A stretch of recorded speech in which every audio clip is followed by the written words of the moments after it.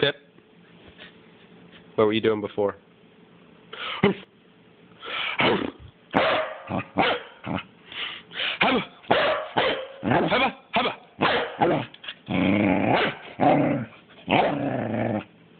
You're just ridiculous.